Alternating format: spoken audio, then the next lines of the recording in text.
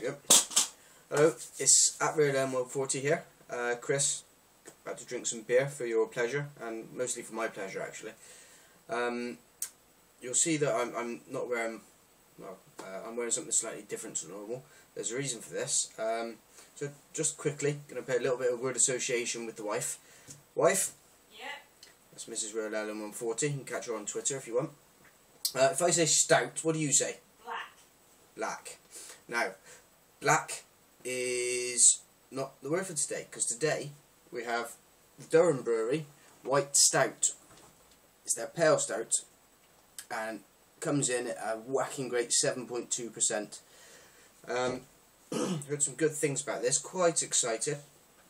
Uh, the word stout for me conjures up images of Guinness and um, you know, all the you know, Mackesons and all that business and stuff that my mum used to put in Christmas puddings when I was a kid and I, I disliked intensely. Put me off beer for a long time, that did. Um, but I'm reassured by Elliot, the Durham Brewery, that um, I, should I should really get my gums around this. And thus far, I've had no bad experiences from the, the Durham Brewery. So I'm going to go into this with open eyes. Now, I am wearing a flat cap and a, a type scarf. Um, in order to kind of respect the traditions of the north, um, Durham being being north of um, Bristol. Um, so everyone up up from there presumably dresses like this all the time. I haven't got a whippet, sorry about that. Um, my dog's a, a collie cross, and he's a bit useless to be honest. He just well, he's, just stopped licking himself now, so that, that's a good thing for everyone. Right, so Durham Brewery, seven point two percent. Um, natural, not filtered, sort of 10 degrees. I've tried to get it to as close to 10 as I can from from touch, mostly. Um, stored it upright because it says to on the bottle. There is live sediment, so it does says do be wary. Um, it may be lively. So let's find out if it is. I bet it's nothing in terms of liveliness on in terms of the Versa. So let's give this a whirl.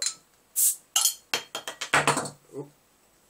A little bit of liveliness. The smoke came out quite quickly, but apart from a little bit of fizz at the top of the bottle, nothing, uh, nothing we need to be concerned about. Let's pour this now. Schoolboy error there. I've actually not used the special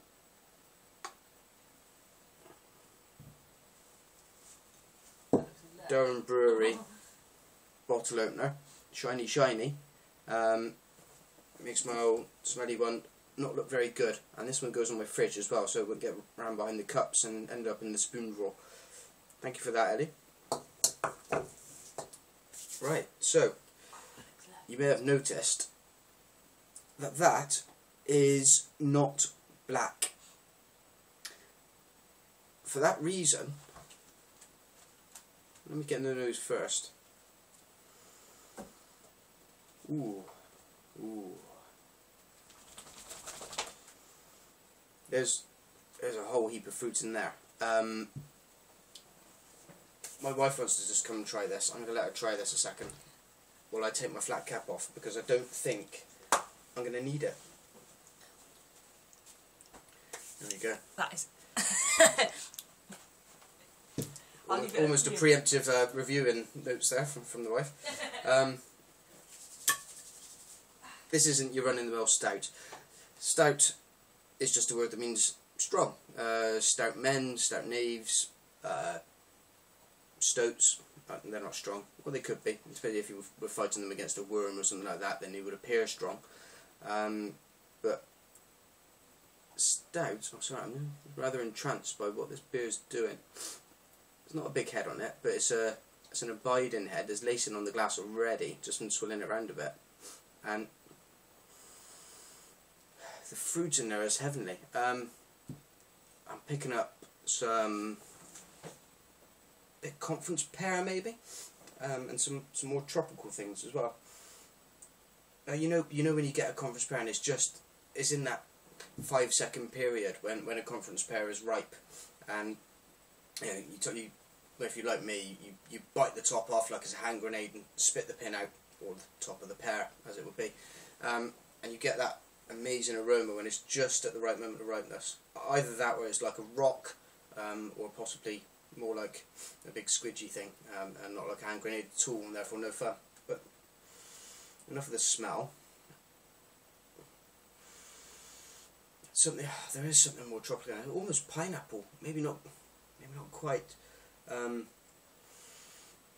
it's fantastic. It just keeps giving. Um, I'm gonna. I, I can't wait. I'm just gonna have to start drink some of this and see what goes on then. I think you'll like it.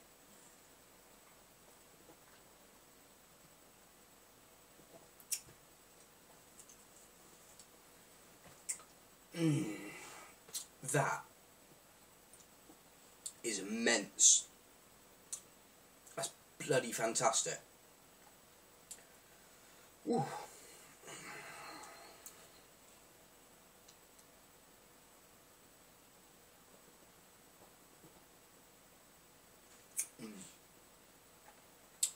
That's quite. It's quite highly carved.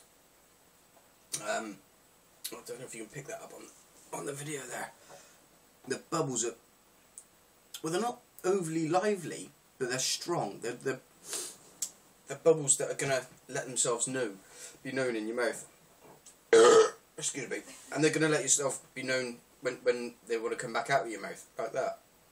Um, but they're serving a great purpose when they are in your mouth. They're, they're flushing around all those flavours. They're pushing them right out to the front where you're going to pick up those sweetness. And as you're taking the beer back then, you get the, the lovely, lovely bitterness out of this. Just, ugh.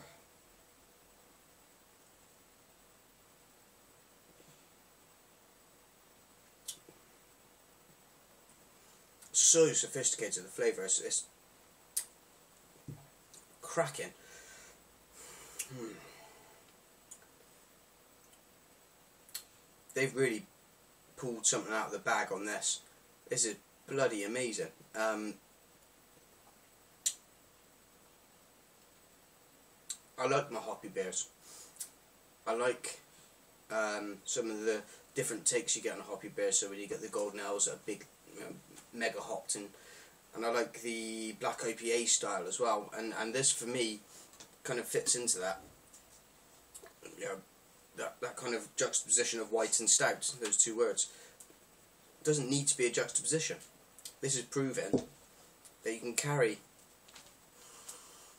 a, a really big fruit flavour, which you don't get with some of the, the, the beers that are really highly hopped. Um, I'm thinking, I'm thinking Kipling, I'm thinking Torpedo from Sierra Nevada, places like that, things like that.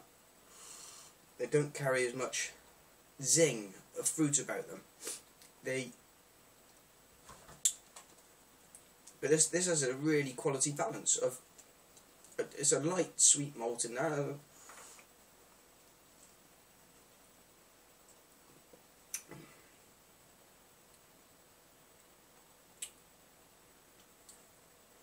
Bloody hell.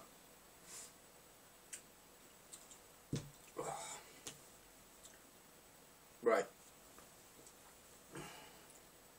Steve Gibbs, you're the head brewer. I love you. That is one of the best pints of beer I've ever got my gums round.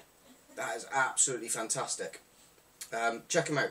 www.durhambrewery.co.uk um, Check them out on Twitter. They're all over that as well. There's a big white stout tasting event this Wednesday. This may be today by the time you get to watch this review. I'm going to take a day or two to post it because because they're trying to do a bit of a Twitter event. If you can get this trending, get this out everywhere. Um, they may be asked to, to start exceeding their maximum capacity of what they can brew. Because this, and I, am going to write a begging letter to Waitrose to ask, ask them to, to get this on their shelves. Cause, and Temptation. Yeah, oh, oh yeah, and, and the Temptation, which is their actual stouty stout, black stout. Um, the one danger with this, I think, is that you you would never ever guess that this was 7.2%. Um, it's 7.2 isn't it? Yeah, 7.2%. Um,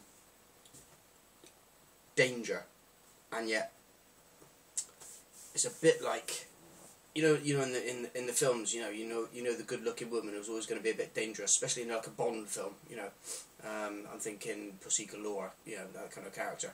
Great looking, mischievous, uh, going to cause you problems if you have too much of it. Just, just try and catch the nose again. Just give it a wish round.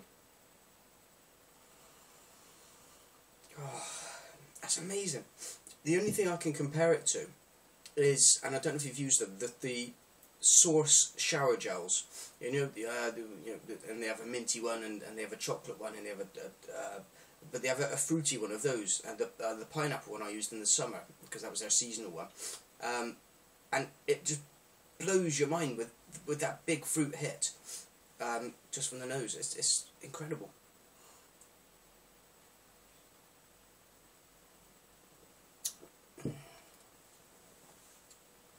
Wow.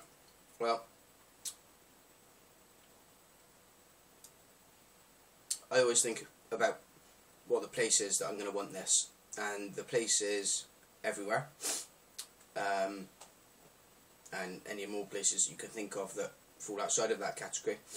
And in terms of rating, I'm going to go for the full whack. It's a 10. And I'll give it higher, but there's no higher mark than 10, as we all know. Um, right, well, thanks for joining me. Thanks for watching. Cheers.